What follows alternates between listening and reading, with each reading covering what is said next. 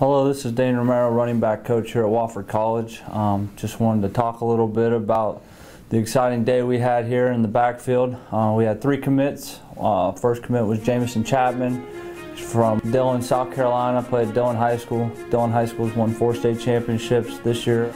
He was the uh, leader of that team, rushed for over 1,000 yards. Um, great player. Probably could had about twice as many, but he only played half a game every game because they dominated their way to another state championship.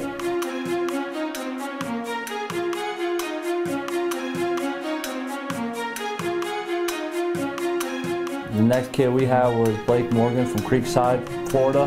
He went to Creekside High School. Great athlete, two-sport athlete, great kid, great family.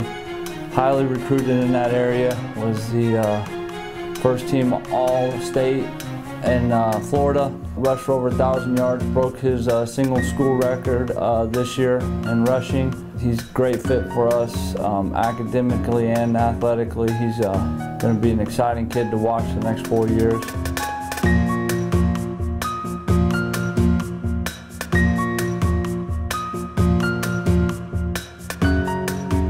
And the last uh, running back we signed was a, a guy we kind of hopped on late, Austin McPherson out of Mobile, Alabama.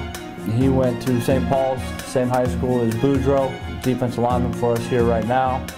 Austin was a uh, five-year player there in Alabama, rushed for over 1,000 yards every year that he played in high school football, finished with over 9,000 yards, explosive, um, makes people miss, never gets tackled. Anybody watches his film, first thing they say is this kid never goes down. So very excited. All three of them bring the ability to uh, stretch the field for us, both pitching the ball, running between the tackles, and add that dimension of being able to throw it to them downfield and make big plays for us. Uh, I'm sure we're going to be excited about them in the next four years. They understand what they're coming into and uh, what it means to put on a Wofford jersey and the tradition that it holds. So we're very excited to have them.